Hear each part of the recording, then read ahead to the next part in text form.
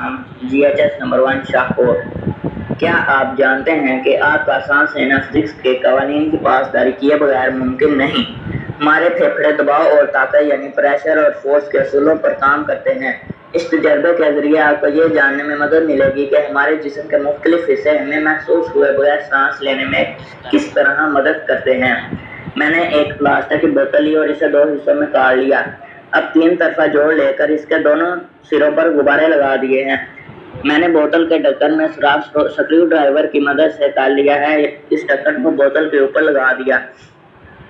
अब जोड़ के खाली हिस्से को लेकर ढक्कन के सुराख में से गुजार दिया है। मैंने एक गुब्बारा लेकर इसके ऊपर वाले हिस्से को काट दिया है और नीचे गुब्बारे के नीचे वाले हिस्से को बोतल के नीचे वाले हिस्से पर लपेट दिया है।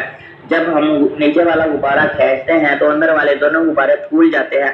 इसी तरह हमारे फेफड़े भी ऐसे ही काम करते हैं।